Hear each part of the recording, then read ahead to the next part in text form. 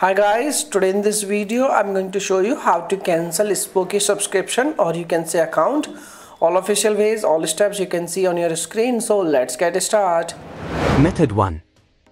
Cancel Spokeo account via phone call.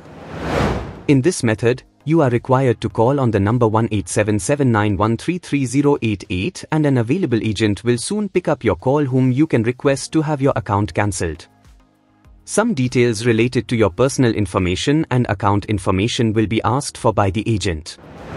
So, make sure you have the required data with you including your full name, email address, account name, password, last four digits of your credit card, the amount of your last charge, and the date of the last charge on your account.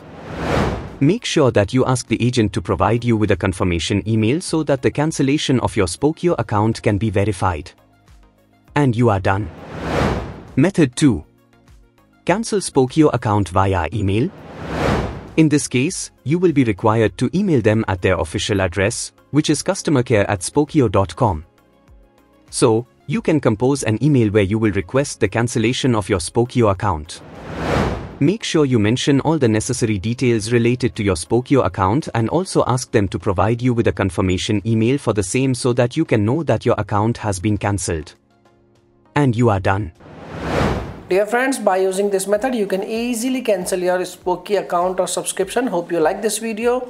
If you have any questions, you can make a comment. I will reply you very soon. Thanks for watching this video. Bye-bye.